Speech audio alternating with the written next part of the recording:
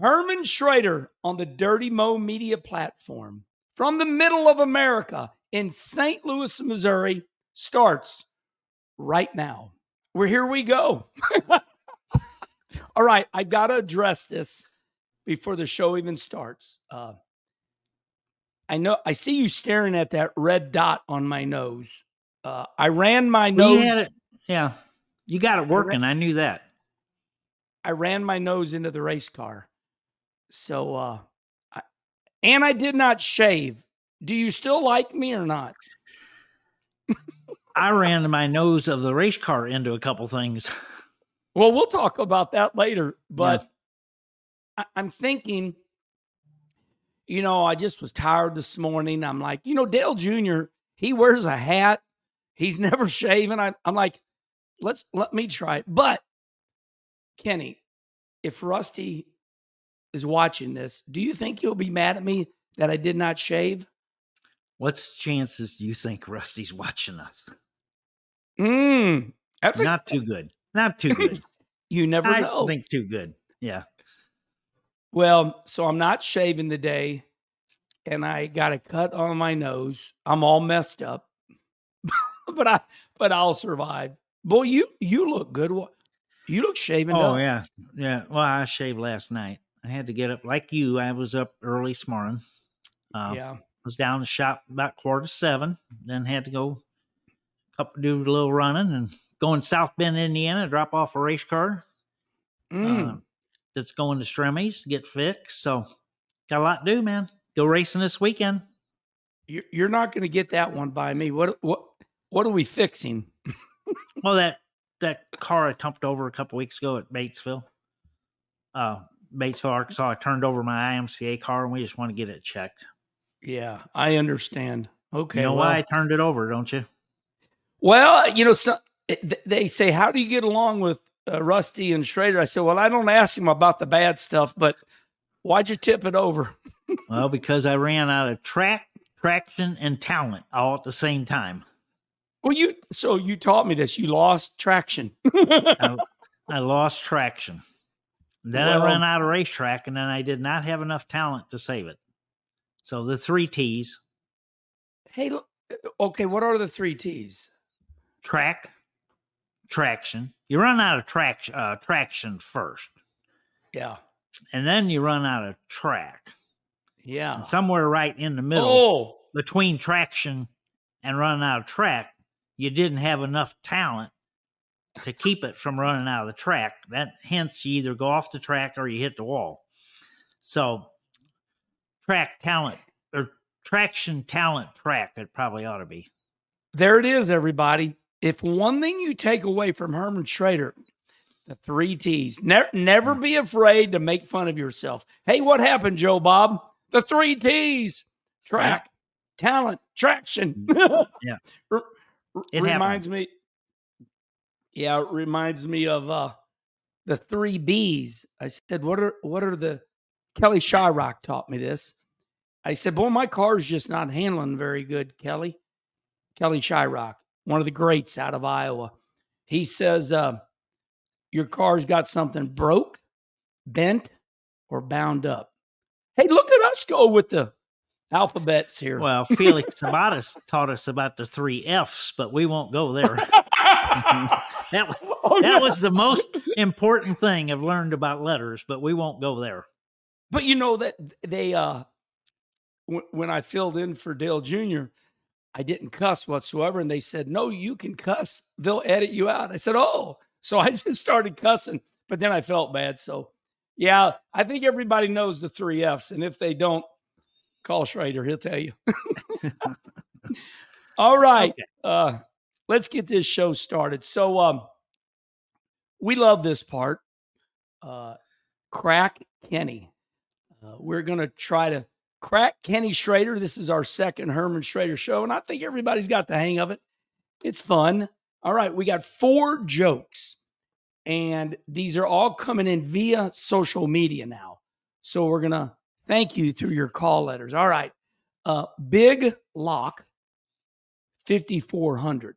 Uh, sounds like he wants to be Big Block, uh, but it's Big Lock, fifty four hundred. All right, Kenny. pirate walks into a bar with a steering wheel in his pants. Bartender asks, What's with the steering wheel? Pirate says, "Ah, it's driving me nuts. I like You're smiling. smiling. Yeah, I like that one. That's pretty good. Driving. oh wow, we have cracked Schrader already. No, that's pretty Okay. good. Second one, Sean's 57 Garage. I applied for a job as a waiter. I told them I can bring a lot to the table. Okay, so he he brings food to the table. A lot. A lot of Yeah, food. Yeah. Okay, well that was just got you kind of questioning it. Number one wins so far. The the Number the one. pirate. The pirate is the best. Okay, you got- better. you got the word steering wheel and nuts in them. yeah, yeah. Pretty much going to win no matter what. You, you you can tell we're a bunch of rednecks. Hey Yeah. man, it's like like Beavis and Butthead. Fire, fire. He, hey, he said nuts. All right, but yeah, yeah, you you know it's true. We're just we can't help it. Uh, I wonder what Roger Penske would think right now if he was listening to us. Do you, do you think he'd say them boys are silly? Well, fortunately for us, well, unfortunate, but at this point, we're not on his potential Radar. driver list, so we're okay. All right, we're good. Uh, better to be fit. That's at better to be fit. This is a long one. A rope walks into a bar and the bartender says, We don't serve ropes. The rope walks outside and ties himself into a bowline and messes up his hair. The rope walks back in and the bartender says, Hey, aren't you that rope? The rope says, No, I'm afraid not. It's a long joke that really is not that funny. well, it's yeah. I mean, it'd be good in you know eighth grade, sixth grade, fifth grade, whatever. they, they, okay. they, they say if you're drinking, it could be funnier too. If you, maybe if we had some more beer. Okay, so right now the pirate wins. Okay, one last one. Pamela Malloy, 9778. Why couldn't the toilet paper cross the road? It was stuck in a crack. Child's play. This is all right, everybody. You got to up your game. Yeah, just a little bit. But you cracked Schrader. The pirate walks into a That was bar. good. That was good. Yeah. Well, Big first Lock- off, a pirate can walk. You know, I mean, pirate can walk. One leg. Rope can't walk. Toilet paper can't walk. I just whatever. Yeah. Yeah. But but it is funny because like you said, it said nuts. Steering wheel and nuts. So thank you, Big Lock 5400. That was really good. Uh yeah, I think we got to get a little more aggressive with our jokes. So send us some nasty ones in, everybody, and we'll we'll decide. okay. Um show moves on. I love this segment. What did we do over the weekend? Uh so Kenny Schrader, what did you do over the weekend? Well, you know damn well what I did. I went with you and we Yeah. went to Springfield Raceway in Springfield, Missouri for the Turkey Bowl. Our buddy Jerry Hoffman runs it. 404 cars. Wednesday, Wow. Thursday, Friday, Saturday. Uh, you only had to be there like our classes. We ran uh, A mods and B mods. You only had to be there Friday and Saturday. Thursday was an optional test day. But I mean it was over late Saturday. It was over at 1.30. One of the reasons it's over so late is besides the 404 cars, which they didn't all run on Saturday, but Jerry ta- takes unbelievable pride in his surface and he wants them racing on it everywhere. And there's a fine line when it gets slick and you're racing everywhere because there's no grip everywhere. Now, I don't know how quick that track will take rubber and get one lane, but he go make sure that doesn't happen. So he spends a little time on track prep, and it shows up in the races because they run from the very bottom of the inside of that track up to the top. So we, uh, friend of mine, Glenn Stires, drove one of our cars. He finished 11th. We had 76 B mods. We we finished eighth. Uh, you you ran good in the in the in the mod race. I, I want to talk about you for a minute. Uh, I'm a race fan too. They they put a little ledge around that racetrack on purpose, and Jerry Hoffman is able to keep that ledge strong. It doesn't go away. I watched you. You drew bad. You started like almost last in your heat race, and you got up to what fourth, third. Uh, but that was, yeah, draw, I mean, I drew good because it's passing points. So you want to start oh, in the oh. back. Well, yeah, you, you want to show. You want to start in the back, and you want to roll the dice that you'll be good enough. And you only got twelve laps that you'll be good enough to get there. And we got third and need to get to second. So they go top eight in points at the end of your heat races are locked in the race. And if we'd have finished second, we'd have been on the pole.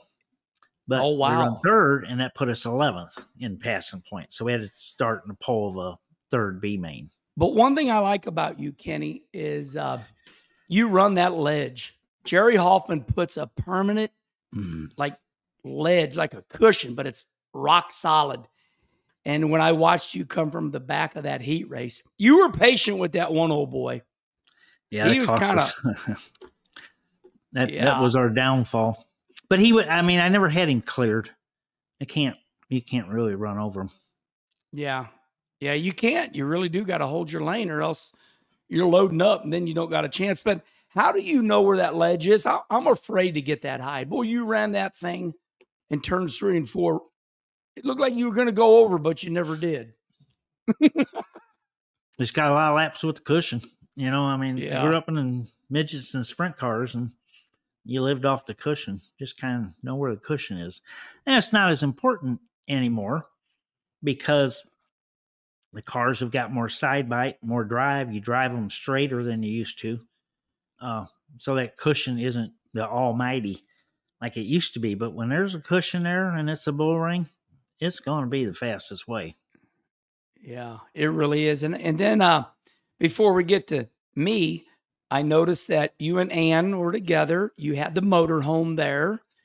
Uh, you enjoy that. You you and her really bond. Uh, well, it looks to me like you're having fun. Are oh, you? It, yeah, it's good time. You know, we went racing the racetrack for three days, camped out with some friends. Uh, it's great. You know, we can be better. Yeah, yeah. So Hey, Kenny Wallace, what'd you do over the weekend? Well, self. I did what Schrader did. Uh, so I wanted to go up there because you love that racetrack. And we love Jerry Hoffman. We want to support him. And they got the rules really good. Uh, they got my UMP car. Did you like that? Did you like how they I think the rules, rules are great. One of the reasons that everything works so good is the racetrack. Yeah, it's true. wide and slick, and you know it's not a stop and go big power place, so it's easier to combine rules there. And they have them. They have an excellent program right now. Yeah. So uh, I was very lucky. Um, 54 cars in my division, and uh, we ran second in the first one and then we won the second one. That put me third in points, and I finished fifth in the big race. And uh, I couldn't have been more happy because I didn't know what to expect. And uh, you know, so it, uh, I lost twenty dollars, aren't you? Oh God, I lost twenty dollars. I had bet Jeff LeBob. What do you think? I bet him Saturday bet? night, and we didn't. We had the wrong lineup, but I had bet uh, Jeff LeBob that you'd outrun uh, Zach Vanderbeek, and you know Zach's been running great. You know, so yeah. I knew it'd be tough because you both you both were good, and you ran third and fifth, I think. So I Yeah. mean, it was close. But just remember that next time we eat lunch, I lost Yeah. twenty bucks on you. I'll, I'll I'll buy you. Oh, oh God, that reminds me of the story. Here we go. Like you know, we know what we're going to talk about, but now you bring it. Let me tell this real quick. For anybody that ever thinks they're going to outwit Kenny Schrader, oh, Schrader that- and I. No, you're going to win all the time. No, no. We're so I, I get in this. I'm living in North Carolina. Kenny Schrader's living in North Carolina, and we get in his white van, and we're all going to go to the Talladega Dirt Track early January. And, Ice bowl. Ice bowl. Yep. Yep. And we pull over to a Hardee's. And I'm so thankful that Kenny Schrader's letting me ride with him.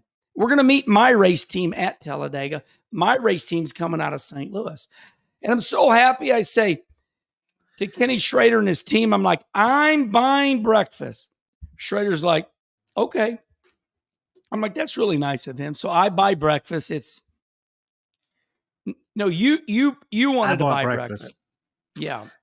I bought Yeah. breakfast and lunch. They're the cheapest. So we get to dinner that night, and the bill's like a hundred and something dollars. Schrader says, "Okay, you're buying dinner." I looked at him. I said, "You son of a." he Well, no- Kenny, Kenny Schrader would not that. let me buy breakfast or lunch because he knew that those are the cheapest meals of the day. So you're smart No. and, and and you taught me a lesson.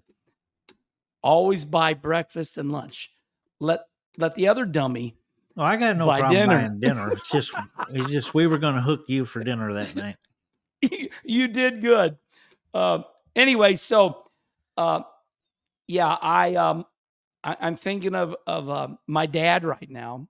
You know, you said that you thought I would outrun Zach Vanderbeek, and thank you for that compliment because Zach Vanderbeek's a badass, and um, we were fast, but my dad would say right now, "Why? What happened? Why'd you run fifth? So, Dad, here's the reason. Uh, obviously, lost Dad uh, years ago, but I did not when when Jerry reworked the track.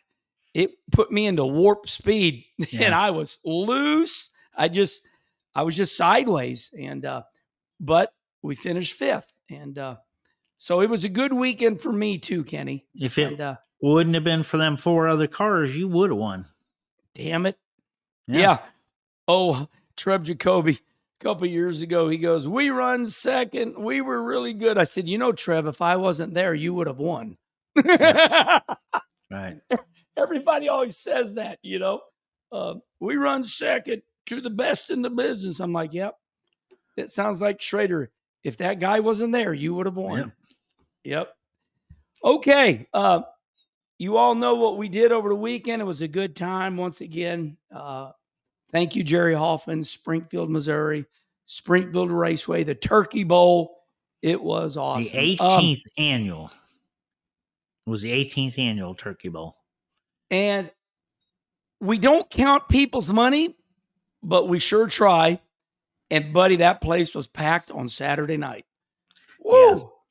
Yeah, you know, but it took it took a number of years to get there. Uh, Yeah. he was lucky. Uh, he said he really only lost the first year, but then you go a, a number of years where it still wasn't worth doing. You're you're uh, in the building program, but he's got it going now. But then the thing about that event is the weather's got to cooperate. It was nice and sunny in the daytime.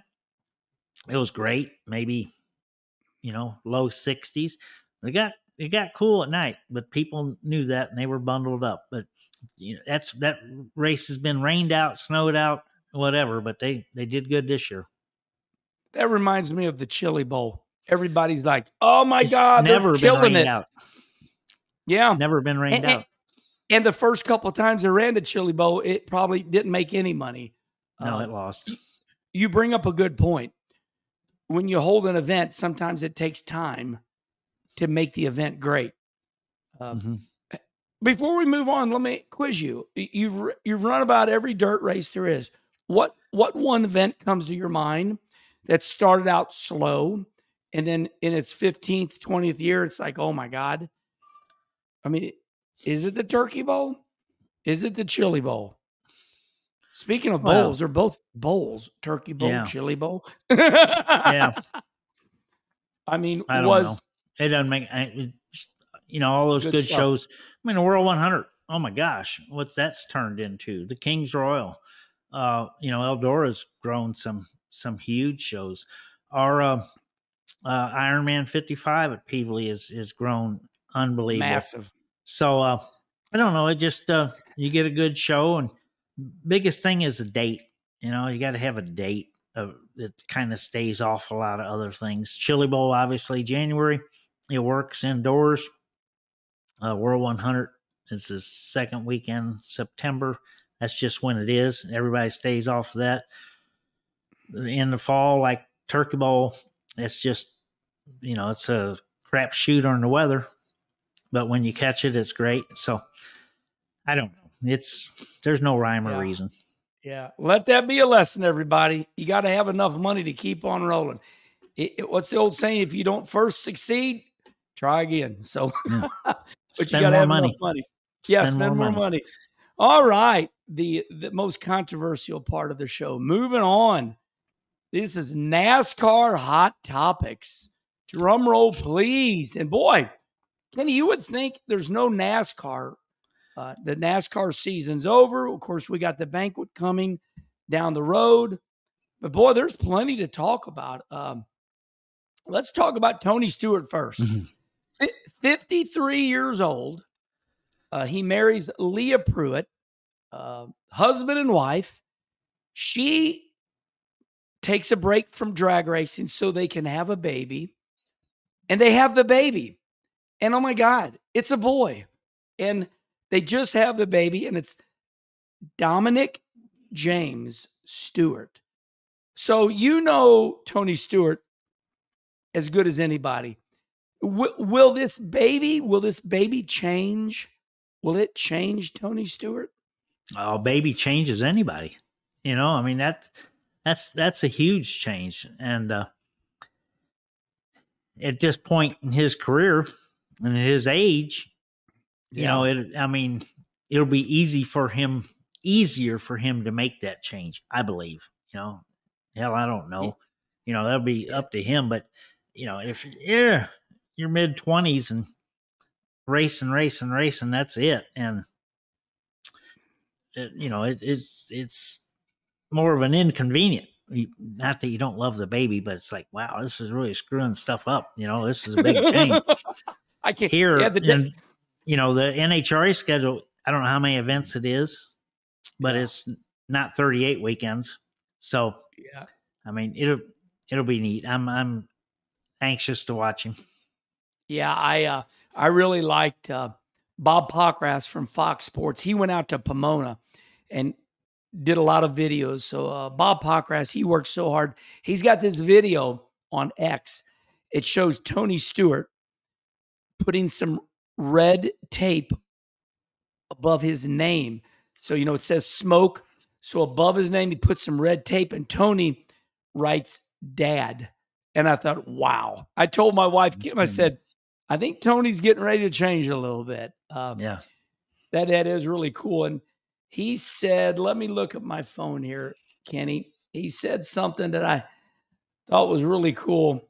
Um, he ba- he basically said that um, really changes you. You know, that's pretty much what it what his quote was. And uh, uh, so that's awesome. Okay, Tony Stewart and Leah, they have a baby. It's a boy. Too good to be true. Hey, let me ask you this: If it would have been a girl, would that have messed Yeah. things up? No, it don't make any difference. It's It doesn't. baby. It doesn't make Yeah. any difference. Yeah. Okay. So we put that. yeah, it to me, I want you know, I didn't care. I wanted healthy, but Right. our first one was a girl, and I was pulling for a girl because I didn't want a boy that wanted to race. Oh, I didn't want. I didn't want to go. I didn't want to go through that. So, yeah. So he he can go through that. Yeah, there's so much to say too because when they get married, the boy, the no, it was the girl. The girls pay for the wedding. I paid for all the weddings, so Yeah. uh, Yeah. yeah. Okay, moving on. Um, this one caught me off guard. There- there's a lot of hot topics, everybody. So stay tuned. We got more after this one. Uh, Martin Truex and Denny Hamlin. Denny Hamlin has been saying all year, okay, we all know that Martin Truex has retired from NASCAR Cup racing. He says, I'm done. I'm not running any more NASCAR. But Denny Hamlin says that 2311 will field you a car. Anytime you want a, a car, let us know. So my wife hands me her phone last night, and there's a little article in Newsweek. So don't blame me, everybody. Blame Newsweek. Kevin Harvick is quoted, and I thought it was very interesting. Kevin Harvick says, No, when you're done with NASCAR Cup, you're done. Look at what has happened to our hero, Jimmie Johnson. So we know Jimmy, we love him, he's great. But it seems like Kenny, when you step away from the Cup Series, the highest form of motorsports in America, that it's very hard to come back in. And what Harvick's saying is, we, we all admire Jimmie Johnson. He can do whatever he wants to do, but he's running, he's truly running 30th to 33rd. Do, do you believe what Harvick says? Or Yeah. I, think? I agree with Kevin. Uh, oh, yeah. 100%. I agree with Kevin. Several big differences. yeah. Jimmy left for a couple years and went IndyCar racing. Oh, yeah. He was out of the cup car. He wasn't, you know, I mean, I, I think, I mean, I hope Truex, hey, if you quit, quit. Have no problem. Yeah. But he come back run Daytona, no problem. Nothing. I mean, uh, the the, the Gallagher team Yeah. uh, is you know great. They've done good, but Jimmy left Hendrick Motorsports, right. went IndyCar racing for a couple of years. All the cars changed, Yeah. and then he came back to a different team. So, yeah, uh, Martin Truex can get it. He can go to Daytona and be fine. He doesn't need to take 10 weeks off and then go run another race. You know, if I mean, I think racer racer don't. You know, I mean, if you're going to cup race, cup race. If you're in that position, but Martin, Jimmy put he stacked the deck against himself big time. Right. But you know, coming back with a different team and going IndyCar racing for a couple years. But but but Kevin's he's right. Um it you know Yeah. either race or don't. I, I find that, and this is just my experience, I find that reps are very important. I'm like you, if, if you stay out, I mean, when you're young, you got, you know, that, there's this new phrase out there they call, they say muscle memory. Uh, you know, I think it, I I agree with you. You Uh, think that's a new phrase? Well, you know Or when they just started that. heard it, or is it Well, it's a new here- here- phrase? okay here's when they started using the word muscle memory a lot okay you know we we had the gear shifter first second third fourth so then the cup cars went to sequential shifting well i think it was denny hamlin was leaving the pits at vegas when they first come out with this car and instead of you know going first second third he went you know fourth to first or something like that and Mhm. everybody started going oh muscle memory you know you're used to first second third fourth so that's where that's where I come up with that. Sometimes, Okay. anyway, I, I yeah, I know you're having fun with me. Uh, No, I just I heard a new phrase, so I just want to see where. oh, oh, you've never heard of muscle memory? No, I heard of it. You know, Yeah, yeah, Yeah. Uh, years so ago. I, but go ahead. I, just, I just think you're the highest form of motorsports. You know, it, you're either in or out. I just don't think Yeah. you play around with the Cup Series. And Dale Jr. has said that. And, and I'll tell you what, Carl Edwards, the one that said it best. I mean, Carl says, nope, I'm not coming back. It's too hard. These guys are too competitive. So, all right, well, we put that to bed. Uh, Kenny Schrader, myself, uh, Rusty has told me on the side. Uh, Rusty actually said, Why is Jimmie Johnson doing that? There's no way. So now it rears its ugly head because it's not an ugly head, but uh, because Kevin Harvick brings it up and Newsweek uh, reports on it. And we found Kim found that article uh, on Facebook. So that's that. Um, all right. See, that's another social media thing. If we weren't looking at all that stuff, we wouldn't even have to talk about it. We yeah, we wouldn't have no damn topics to yeah. talk about. uh, all right. Listen, I know this one's exhausting, but you got to go with me, okay? Uh, be, because everybody in NASCAR is talking about it. I mean this this is basically the number one topic. The lawsuit. But I say the lawsuit. I mean, Kenny, who doesn't love a, a, a, good lawsuit? I mean, they put the stuff on TV. It's courtroom TV. They, they got TV shows every day. Judge Judy. Uh, so, right, let me just lay it out, and you correct me. Uh, Twenty three eleven in front row. They're they're still going at it.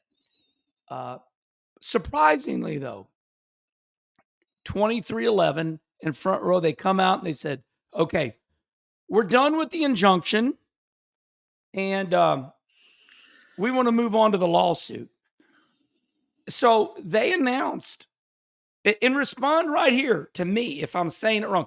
I am so tired of getting my ass handed to me. You're not saying it right.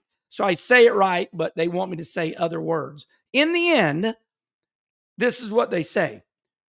We're still we're still going through a lawsuit to try to get more money, but we are ready. We will race next year without a charter. Wow. That means I mean, a charter is you got to be rich if if you're going to race without a charter. Eh, give me give me your take. You got to be rich if you're going to race. you have to be richer now. I don't. I don't know all the numbers. I'm not involved, and right. I'm, I'm. You know, I'm okay with that. I don't need no numbers. But let's just say, I don't know. Say the charter's worth five, six million a year. You know, I don't know what it's worth, but it's if it's worth that, yeah. So, and this is, you know, not.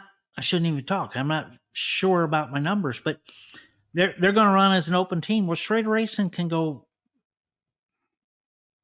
buy a car and run as an open team. So it ain't no big deal. We were all open teams forever. There's less cars than there used to be.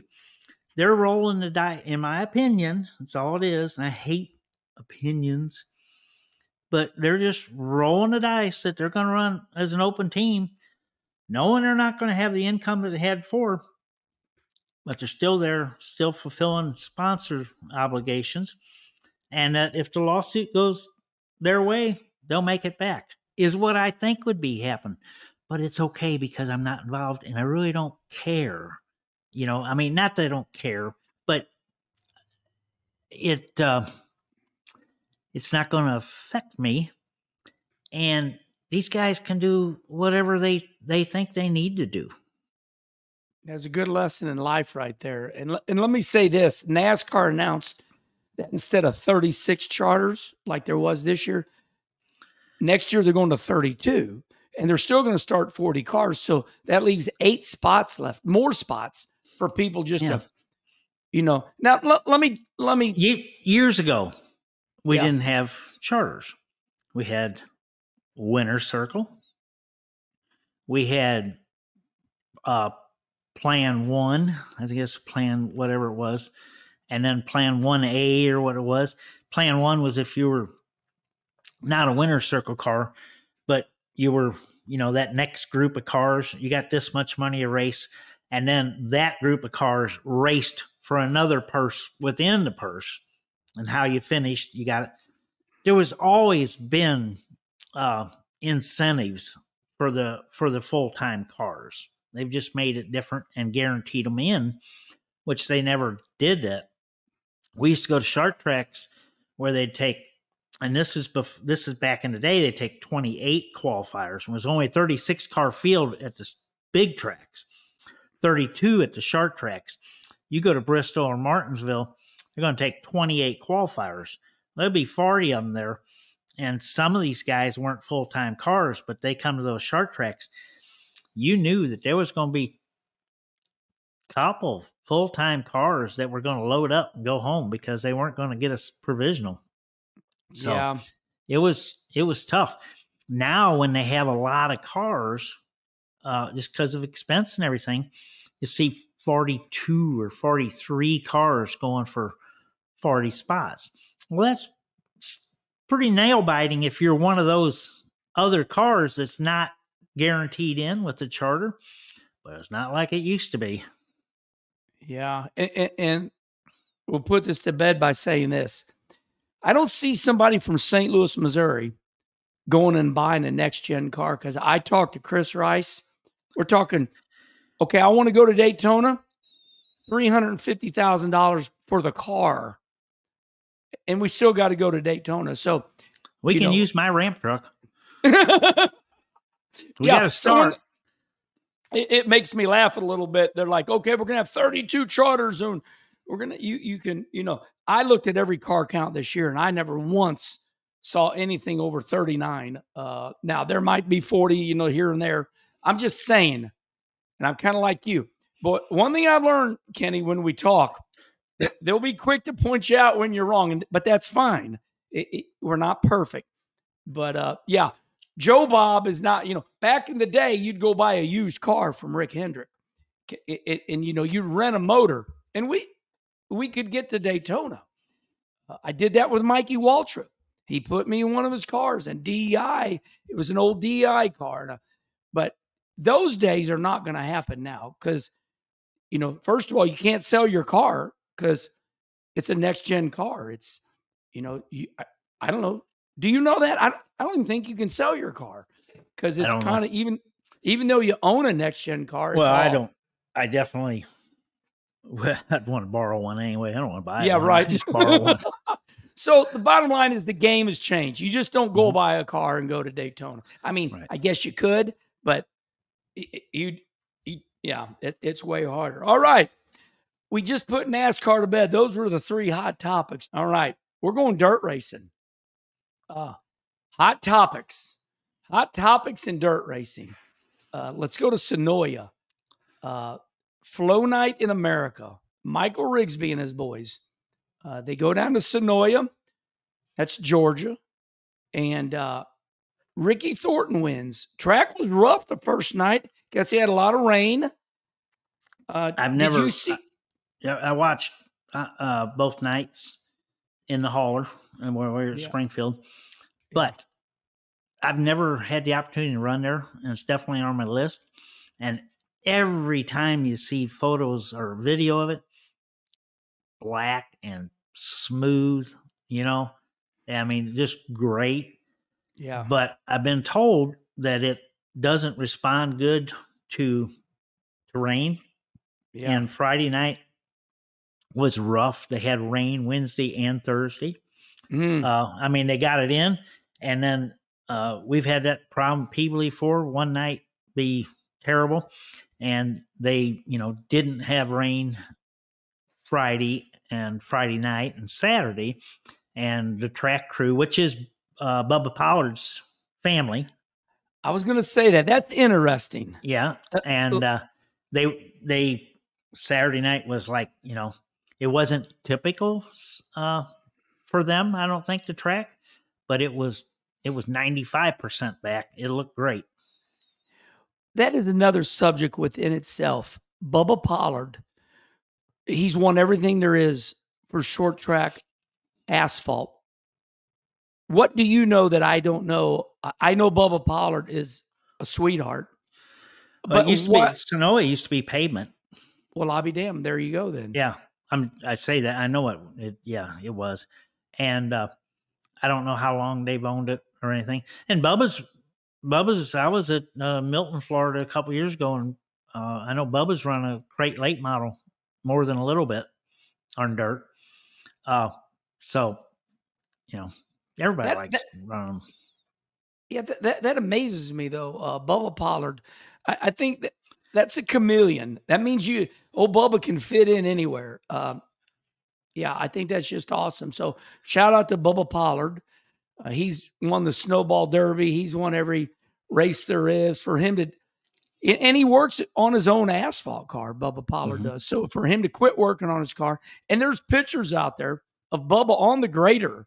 Um, I just think that I just find that just absolutely amazing. So I was trying to find the rundown here, Kenny. Uh, I know JD run third somewhere in there. Uh, they, they go to they went to Cherokee yesterday, uh, dirt racing. We're talking dirt racing. They go to Cherokee. Let me look at results here. Uh, Mid East SLS. Uh, Trent Ivey. I don't know him. Do you know him? I know the name. I don't know. I mean, a lot of them guys, but I know the name. He's so, one of the guys that's been around there. Yeah, he, more he regional, be, I think. He must be good because Davenport run fifth, Chris Madden runs sixth. It, it's not like it was a weak field. Uh, Nick Hoffman had a flat tire with two to go. He finishes 15th, but uh, they still racing down south, just like we were at the at the Turkey Bowl. So we we had Senoia this week. Ricky Thornton wins. Uh, Kenny, I want to talk about Thornton for a minute. I'm not going to be controversy, but I want to broach the subject that he got fired from the car that he was just kicking everybody's ass in, and then he then he you know he was a little cold for a little bit, but like the greats, he's back to hauling ass again. Yeah, well, that part where he might have been just a little. He wasn't cold. he yeah. was a little.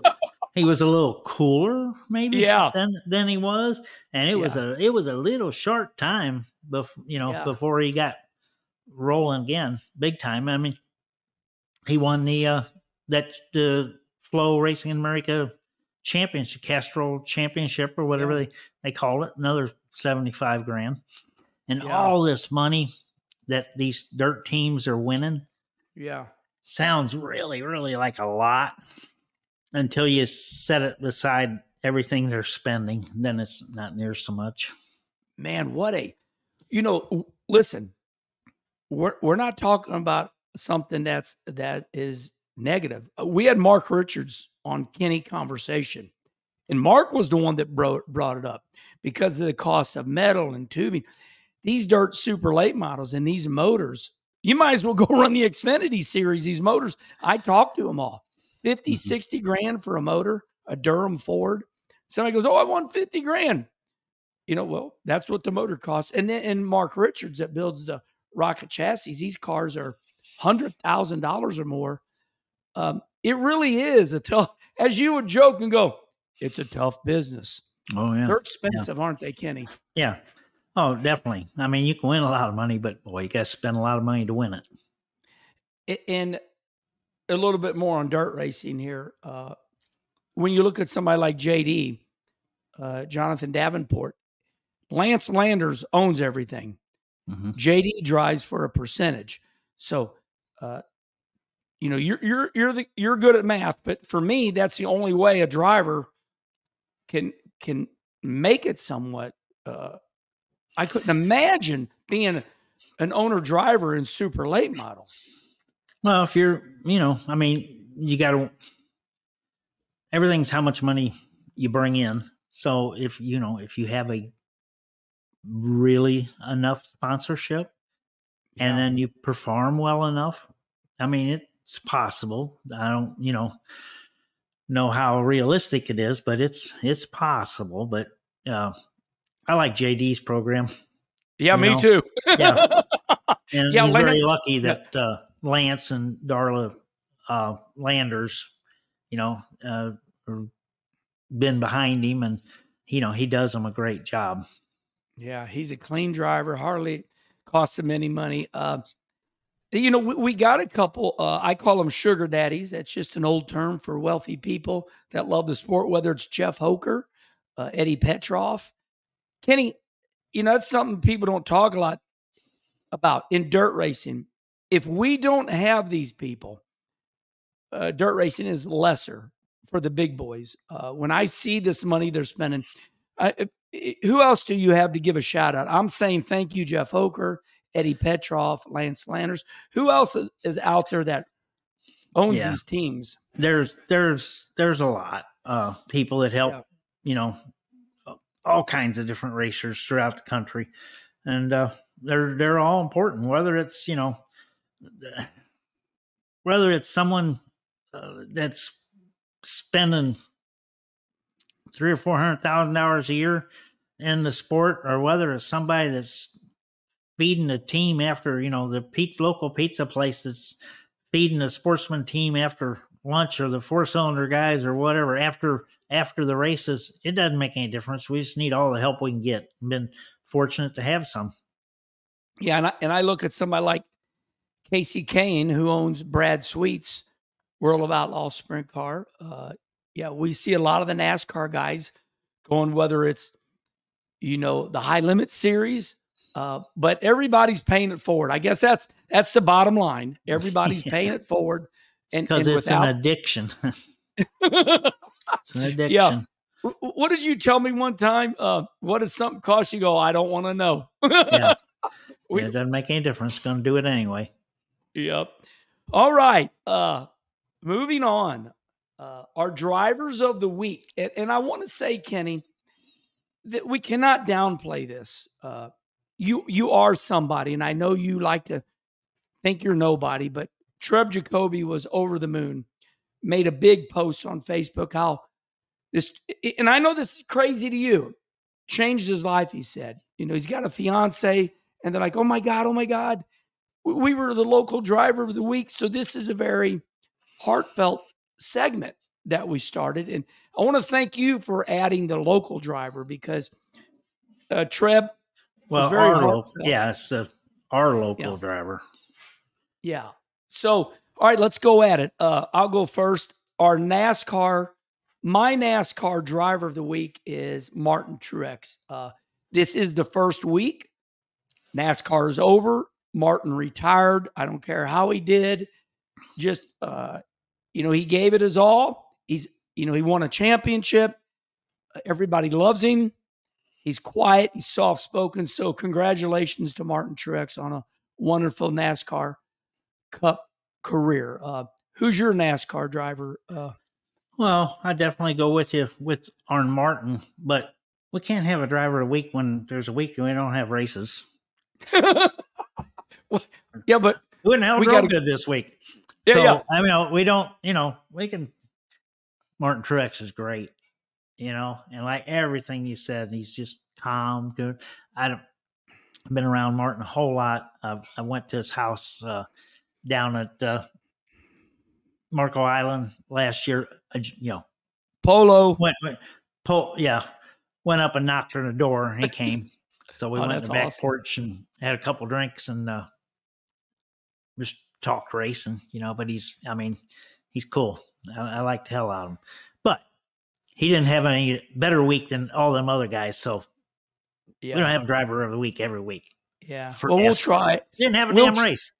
Yeah, we'll we'll try. Everybody, we want to keep the show rolling. Everybody says, "Why did you guys start Herm & Schrader after the year's over?" I said, "Because the year's over. We got to put something on here." so, you know, we know Kyle Busch has announced he's going to the Chili Bowl. You know, Kenny, it's funny because uh, I went to the Chili Bowl. Sammy Swindell says, "You don't got any business being here." I said, "I know." So, moving forward, it just, you know, people want to try different things, and no matter how it goes, they want to try it. So, uh, we will have NASCAR drivers every week doing something, and we'll talk about them. Okay, um, our dirt, our big time dirt uh, driver of the week, and uh, I'm just going to once again, this is easy. Uh, Ricky Thornton, he's made an incredible comeback. He wins Senoia, and then on top of that, you know, he had to finish it off. It wasn't locked up. So he had to bounce through those holes the first night when the track was rough because of all the rain.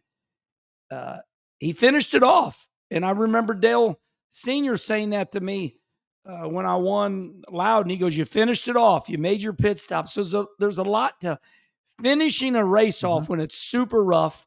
So congratulations, my driver of the week is Ricky Thornton for winning and and finishing it off with a tight points margin. Uh, so who's your dirt? I uh, I got to go with Ricky uh, on that. But the uh, was it Trent Ivey? That oh, won? Trent Ivey. Yep. Yeah, yep. that At won. Cherokee. Yeah, so that's you know that's a big deal. And was that the first father son? I think I read somewhere. Father son. Uh, we need to check on that. Oh, oh, oh, Somebody uh, can let us know. that uh, owned it or what? No, that they both won it before. Oh, okay. I, guess didn't dad that. had won it in the past.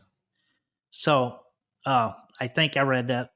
I don't know, but uh, one thing, yeah, one thing I, that's I like about. Cher- Cherokee's funny because uh, Nick Hoffman he kept posting about it, and uh, he said that I'm I'm headed to the place your mama warned you about. yeah, you know, that's what you they have- advertised.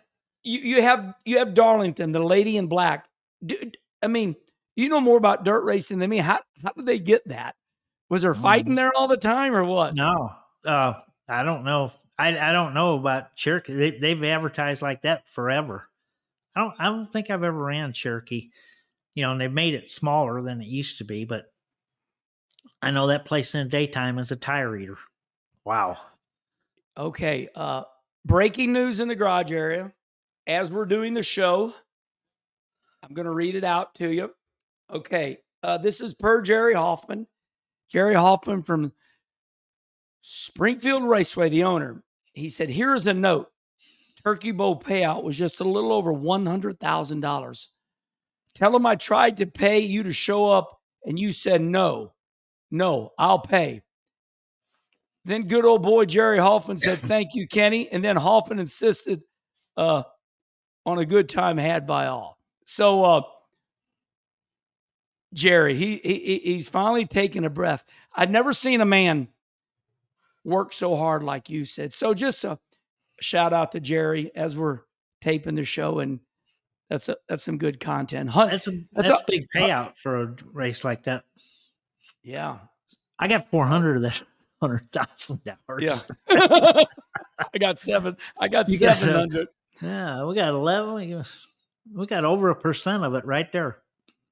Okay. Uh, our local, we're going to finish off our drivers of the week. Our, our local driver of the week, I'm going with Joe Rudy. Uh, Joe owns Al's Auto Service.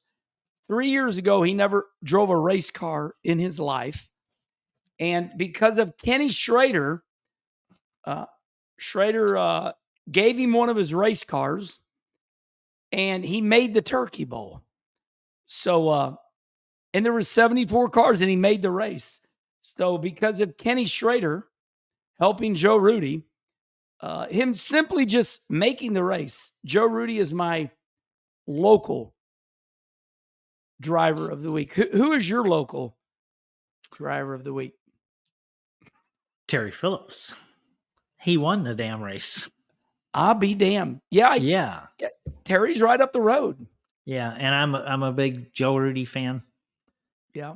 but I get so aggravated sometimes. And I know it's from being because I'm old. Tell tell people he spun out twice in the feature. He made the race. So Jeff Mhm. LeBob, uh, so Glenn in our car, so us, ev our whole. We had like six St. Louis cars lined up there. Plus there was more there. I think almost everybody made the race. We had a couple that missed, but you tell these guys there's something that happens in front, and they instantly lock up the brakes and spin out. It's like, listen, the car's 17 foot long. It's only about six and a half foot wide. You got a hell of a lot better chance of going through forward than you do Yeah. sideways. Quit spinning out to try to go through the wreck. All you do is hit everything sideways.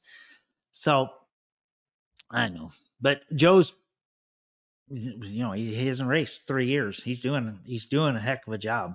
I still like giving him a hard time, but you know, But I- but I'm- good I'm advice. with- well, you, I mean, good I advice. to shoot You- the gap. I want to shoot. I want to be as narrow as I can. Yeah, yeah. Uh, but I, I kind of go with the Terry Phillips, you know, Yeah. and one of his uh, bloodline chassis cars that you know they they manufacture Yeah. or they sell or Love Terry Phillips. I brag on him all the time. We we grew up together and uh yeah, that that's a good one. So, all right everybody, I'm leaving Springfield, Missouri. It's southwest of St. Louis. So for all intents and purposes, uh, it's kind of like you saying obviously. Intensive purpose, whatever. We're we're we're traveling north because we're coming up the hill and we're coming to St. Louis and Interstate 44, old Route it goes 66. east and west. Yeah, I remember that in the drivers' meeting, Jerry. So, um, everybody's racing. This, this, this highway, why? I don't. I mean, I know there's a lot of highways that are racing highways. We race out of Charlotte to Daytona. Everybody races the Daytona, but then there's Everybody some highway- races on the interstates. Oh my God! But this 44, it's. It, I mean, we're racing. so I'm racing back home. Got my Black Widow Dodge 2500. You know, Cummins, and I'm I'm running 80, and we're all running 80, and we're all in the left hand lane, and we come up on this car, and we'll run about 212 mile an hour, and this guy is not going to move out of the way, and I'm just watching the show because it's kind of in front of me. So this guy in front of me, I'm kind of pressuring him, you know. So so so this guy he pulls out to pass the slow car. So you know what happens? The slow car speeds up Oh yeah. because he's he's looking in the mirror. You're you're faster than me, but you're not going to pass me. So he speeds up, and I mean it's a shit show. And, and he he it, and there, now it's death and destruction. So here's we know people ride in the left lane, but I want to be specific. If you're going to ride in the left lane and somebody goes, "Hey, I'm going to pass you because you're not going fast," why do you speed up? What are, are you hate life that much? You just mad? So that's just my why. I don't want anybody to answer this. I'm just saying, why? Well, you just You asked gotta- the question. Why are you a prick? Why do you ride in the left hand lane? You know, so why? That's my why. Well, I Uh, would it's say fun. that I would I would say that why do we have to do this why sec- section segment? Okay, But come when you on. were coming to my shop a couple years ago in your same category, it goes from two lanes to one lane. Well, there's a stoplight, hmm. then it goes two lanes and goes to one. So a guy stopped, and the light turns green when I'm coming up to it. It's red, but it turns green. So I go by him, You got him. Yeah. but he, he gasses he gasses it up. oh And- boy. and you know i'm here and he's here and he's gonna come and tom hannick's riding shotgun with me Oh, he's we're big. in my little sonoma pickup and i just keep turning right turning right turning right love. and yes. he's like he's there he's there i said this clown has no idea how many quarter panels a year i knock off this would just be this would be just one more but he's One not more. gonna do that. So, but yeah, why? And then Yeah. you get to one lane, it goes from 60 to 50, and everybody slows down because they run radar there a lot. So it's like, really? You just had to be in front of me? Yeah. Because that's what Why? we do. We got to be in front of each other. Yeah. So I deliberately, when I get to there, yeah. I deliberately let off and let people go unless they're acting like idiots. Then I try to run them off or whatever. Good stuff. I like that because, and, and that will get big reviews because everybody races. And it's not even about racing. It's that I'm better than you. You're not going to take my spot. They'll Uh, pass. They'll pass your ass and get off at, at the next exit. Oh, said, "I got it." Yeah. Okay. That, see, that was funner. Is that a word? Funner? Funner? Uh, That was fun. That was fun. you ever okay. like go down the interstate and say, "Okay, let's." I'm gonna pass hundred cars by the time I get to this exit. You know, that's when you're tired and shouldn't be driving. But like, I'm gonna pass hundred cars before I get to this exit. How about those new cars now? How about those new cars where they they there's that little coffee mug on your dashboard now, and I I don't know how it recognizes. it. I, I think if you wiggle too much, It says time to take a rest. my it- My it- my new my new car is a 2015, so I don't know about any of the new cars. Yeah. Well, it, it, does it. If you get the new ones and you and you kind of go from lane to lane, it says take a break. It has a coffee mug. Like pull over, get your shit together, go at it again. Okay. Stories from the past. All right. Uh, in the 70s, we're over at Tri City Speedway in Granite City, Illinois. And dad uh, is driving the number seven car. You know, it used to be uh, Rusty's father-in-law. Um, anyway, Dad's driving it. Dad Hall. flips Ed Hall. Dad flips Ed Hall's car and turns three and four at Tri City Speedway. Well, as you would say, he tipped it over. It was a big deal. So brings it to the pit area. Rusty and Mike take the hood off and start the big race because I guess the hood wouldn't go back on. Broke the hinges. I'm in the grandstands with mom. So Yeah, when when you said 70s, I'm thinking, hmm, you weren't Yeah. very old. Yeah. So, okay, this is my story from the grandstands, but I know what's going on because I work on the race car, but I'm just not old enough to go in the pits.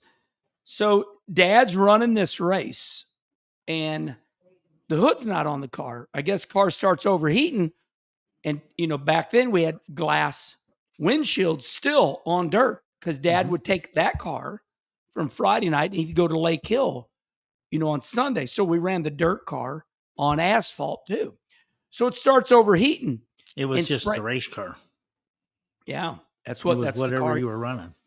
yeah. I'm painting the picture here. So there's water I'm all over the windshield. You. Are doing a good job. So Okay, dad's got it. Go, go ahead. I don't mean to interrupt. you're it's all right. So dad's got his head out, you know, he's looking, he's trying to race, and dad climbs the front straightaway wall at Granite and takes the whole front straightaway fence down. And I mean, it's catastrophic. I mean, you know, right in front of the fans, dad just wipes out the whole fencing. Now they got to cancel the race because, you know, dad wipes the wall out. So mom is delirious. Oh, Russell, Russell. She comes flying out of the grandstands. And she, now the fence is down. Now, remind you, all the wiring, there's wiring too, you know, electrical lines. Mom climbs over the fencing, electrocutes herself. Dad was just fine after the wreck, but we took mom to the hospital. So, Judy Wallace, one in a million. And uh, so that's a story from the past. Uh, be careful climbing fences at the racetrack, especially when the electrical lines come down with them. And uh, never I forget that. I love your mama. She has a lot of energy, and she had a whole lot back then. I mean, yeah, you didn't want. you were better off to have Russ mad at you than you were to have Judy mad at you. I um it's sad to say, but when people pass away, the stories come out. And so when my Aunt Millie died, my mom's sister, we're sitting in front of the casket, and mom starts telling me stories about mom growing up in Baltimore, living above a bar, and always putting up for her sister. And I looked at mom and I thought to myself, so that is why you are the way you are. Mom, mom grew up in Baltimore and just fought all the time. So when she came to the local racetracks, it was perfect because that's what you do. You fight, you know. And mom would fight, and you know they'd yell in the grandstands at Lake Hill Speedway. I hope Russ Wallace burns to death. I'm like, that's a little severe, but mom would go at him, and um, yeah, she's a badass. She still is to this day. Mom's yeah. like 87, 87. So um, She looks great I agree. She loves you, Kenny, Uh, because you're always you're always good to my mom, and I, I want to thank No. you for that. no. She loves you. She truly does. She tells me all the time. Um. All right. Do you have any stories? No, it's you know, I just thinking going up and down the road. I'm a 68 Chevrolet, 68 Ford Ranger pickup when you know they were big trucks and uh and we're lug, lugging the midget to IRP, Hank Green's midget. Hank Or- Green. Hank Green, I drove for him a couple years. Uh really uh Hank and Rosemary, sweetheart people. Bud Hoppy took care of it. Legendary Bud Hoppy. Yeah. So we're running up 70. I'm tired. We ran somewhere night four. I'm driving. I'm towing the car, but you know, just a midget. Cousin Mike, cousin Carl Edwards, his daddy. Right. He's riding beside me. We got four of us in a 68 Ford pickup. And we're cruising up the road. And I told Mike, I said, Hey, I want to get cruise control. Uh, I want to take a nap. You you What? take you hold this thing. Well, he Oh. thinks I'm he thinks I'm kidding. So I'm I mean I can fall asleep and you know I can fall asleep any place, anytime. There's pictures out there Yeah. of you sleeping in your cup cars. So- I, you know, he holds the wheel, and it's a big joke. And we're coming down, we're coming down a hill, and there's two tractor trailers, and we're coming about 15 mile an hour faster. oh my. And he thinks I'm kidding. and I'm playing with him. So, you know, he's not going to do nothing. And, and we're, I mean, all of a sudden it's like, hey, something's got to happen. So he hours at me and elbows me. And I mean, I look up and there's two track trailers look like they're stopped. You know, they're on 65, we're on 80. oh, Quick left, past them on the left, partway on the median, maybe the left side tires a little bit in the grass. And I Lord. said, "Damn it! I told you to wake me up." He said, "I didn't think you were really going to sleep, but uh, we don't do any of that stuff much anymore." Oh my I'm It was speechless. a, at, at the moment it was a big deal. Yeah, Holy moly. yeah. That- It I'm scared. I'm scared right now. I can't even laugh. you and I have had some all nighters when we drove. oh, we have. And we'll save those for other ones. All right. Um, what makes you happy? And uh recently, you know, what makes you can happy could happen earlier this morning, whatever, but what makes me happy is our three girls, you know, they are really good to their mother, Brooke, Brandy, and Brittany, and the son-in-laws. They showed up. They put all our Christmas lights up, put our Christmas tree up, and it's work. And that made me really happy because now Kim is not on my ass to do all this. so I, that that made me really happy. Yeah. So what about you? What makes me happy is that my kids are coming for Christmas. Oh, Dorothy Oh, and Sheldon, but they don't have to come put the lights up because we're not that old yet. So I guess I'm happy that I'm not that old that someone has to come up and put on the lights in the Christmas tree. we're we're that's going to be another show. Uh, We we still have and listen, let's not talk about it yet because we got good stuff. It's it's a long winter, Kenny. Uh, not for us because we'll we'll still go racing, but it, it is a long winter till the pit gate opens at the racetracks in April. I, and I know there's other races, but not everybody. April. Try, April, Springfield starts the last week of February. Casa Grande starts the first week of January. You gotta get Arizona. your you get your stuff ready, man. This is you're going okay, you're gonna race we're gonna race next two weeks. You're not, but then you're going to the dome. We're not. Yeah. But um man, it's it's a month off. That's it. You gotta go in You and I- January. you and I race year round. I know that. The locals don't though. Some of them can't wait for that pit gate to open up in April at P- at, at Pevely, you know. So what makes you mad? If something makes you happy, what makes you mad? I, I got to get with it.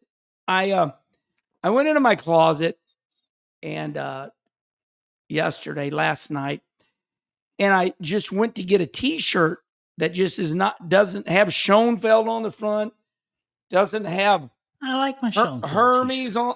No, it, no, it's a beautiful shirt. We love we love the Schoenfelds, and we love Hermes.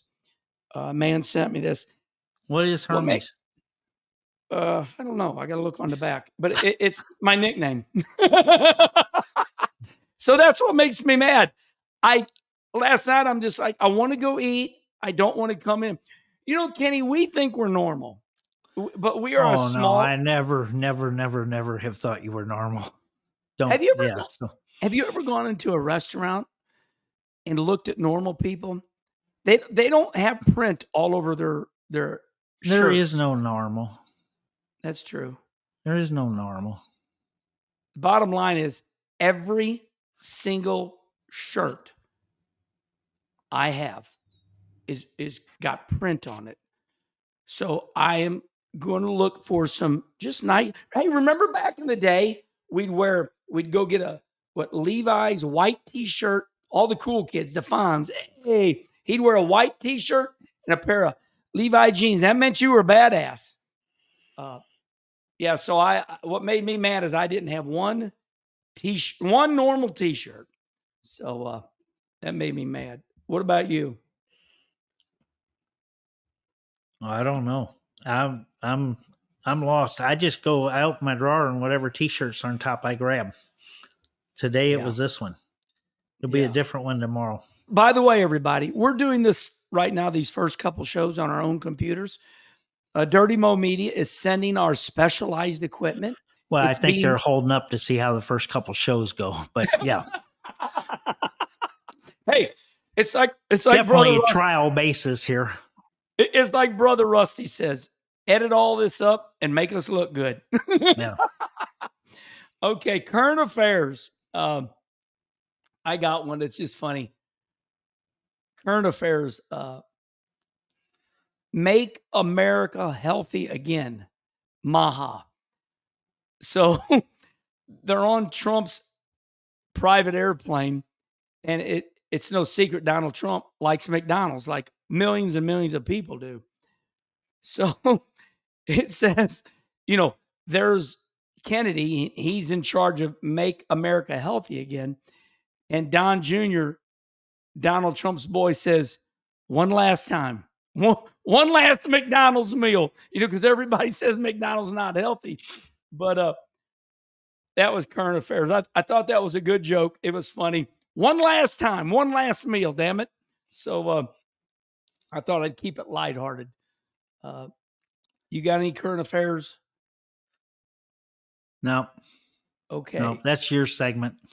Okay. Uh, you're you're the one that's always on social media learning what's going on. So Let me I'm show you just- something. Let, let me let, let me just look. Here's my phone. Okay. right, Watch. Okay. You, you just go like, here's my phone. yep, Okay. See X right here. yeah, I hit X. Okay. And then see trending. Okay. Mika. I don't know what that means. So the, our next segment is what's trending. That means what is the most famous thing in the world right now. So it is serious. It has nothing to do with social media. It's it's like if you picked up the Globe Democrat or you turned on the news. What's the hot story? What's trending? So trending. Uh now listen, I don't want to be political, and I'm not going to be. But what's trending is listen to this. MSNBC, they hate Donald Trump. And they have just decided the Joe Scarborough and Mika, they went, they've decided to bury their hatchet. Uh, and they went to Mar-a-Lago to talk with Trump and basically create communication. Now, I'm sorry, but I just showed you all that. For anybody that's on Dirty Mo Media, that is what's trending. Um, what do you have to say about the people that hated Trump, hated him, hated him? He's Hitler. He's a Nazi. Now, now that they realize that their ratings are so bad that they got to talk to him. Uh, what do you think of that? Well, I think if your business is reporting the news, you kind of got to. How do you ignore the president of the United States? yeah, you know, it, it, you don't pick the president because of a, it's not a popularity contest. It's who's supposed to be who you think is going to run the country the best. And yeah. you know, I'm very much bottom line and staying out of all that, all that. opinion stuff. Yep. Most of the country, you know, the, the majority of the country thought that he was going to run it best. So he's going to be the next president. Yeah. We do not talk about politics. Please, let's please stay out of that stuff. Yeah, we don't we don't talk about politics, everybody. We talk about what's trending number one. Number one trending. And we show you on the phone. That's what's trending. We did not give you our opinion. Okay. I'm sad. This is the end of the show. It's the end of the Herm & Schrader show, and it's life advice. This, this is I, I'm thinking after listening to this show and replaying in my mind, this could really be the end. This could be the I end. mean, not just today. This could be the end.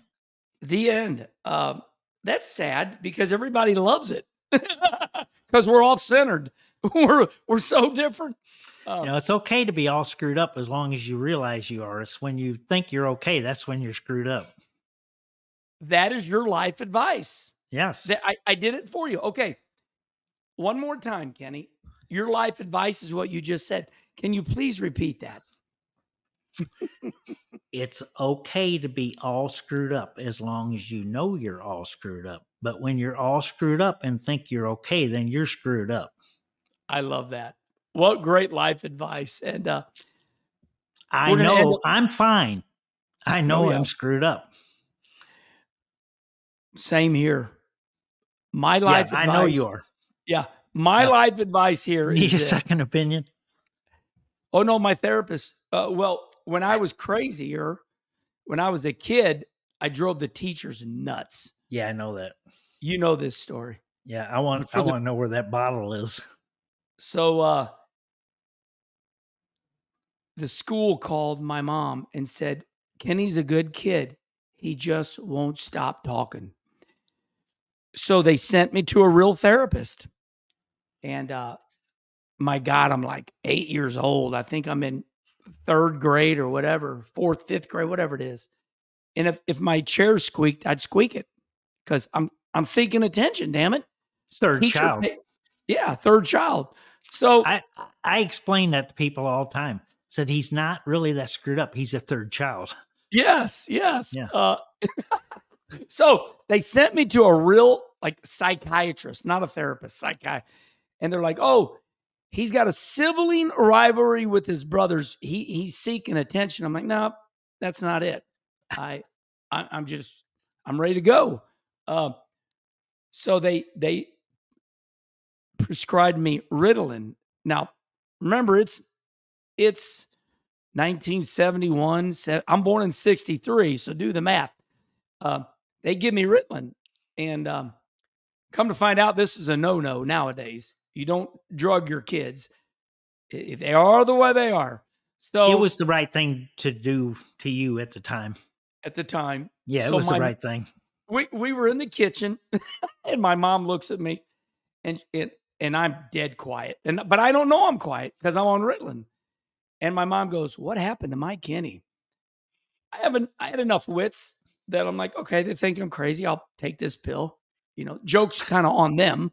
You know, so I'm like, yeah, I don't I don't know him quite, but my mom goes, "What happened to my Kenny?" And I point I pointed that bottle. I said, "Right there." My mom grabbed the bottle, threw it in the trash can. So to this day, when I aggravate aggravate people, I'm like, "Don't it ain't my fault. It's my mom's." She after the races, if like we'd go to the truck stop and something to eat, you know, yeah. everybody didn't hang out. The you went truck stop and ate. We'd give you a dollar if you just not say a word for like two minutes. And usually, you'd, well, you'd hardly ever you'd get the dollar because you couldn't do it, but Right. that you'd fall asleep sometimes. So, yeah, So I, I've got to, I've got to give it up, everybody. The man you're looking at right now, Kenny Schrader, he loves me yeah, so so much to where uh, he said everybody left me at the truck stop, but you didn't have to take me home, and yeah. you always we took we took you home. Everybody left you. We we took you home. and I love you too, Kenny. So, uh, yeah, all right. Uh, my life advice is pretty simple. Don't try to change people. We need all the friends, and all my friends come in all different shapes and sizes, and some just tell you how to do things. Some tell you this and that. Uh, you know, I, we've all got all types of friends, and they're all useful and uh, I enjoy watching you and Tom Hannock, and uh, you got a lot of friends all across America. And I, I can guarantee you, if I said, "Tell me about Tom," "Tell me about Bud Hoppy," I would admire you. You used to take people 40 years older than you, and you'd take them everywhere with you. And it was through you, Kenny, that I learned to cherish all your friends because they're all different. Don't try to change your friends you're going to have all different types of friends. So that's my life advice. Well, that's it. Our second installment of the Herm & Schrader Show. Uh, Could be the last. We'll have. We'll Could- find out. man, if they just edit this up and make us sound better, Charlie, I know you can fix us up. All right, everybody. Until the next Herm & Schrader Show, do you have something to say? No, I was going to say goodbye, but it's taking you a while to get there. Well, we got to have an ending until the Okay. next Herm & Schrader Show. Now, this is we're, we're learning. Say goodbye, Oh. Kenny. Oh, goodbye, Kenny. Goodbye.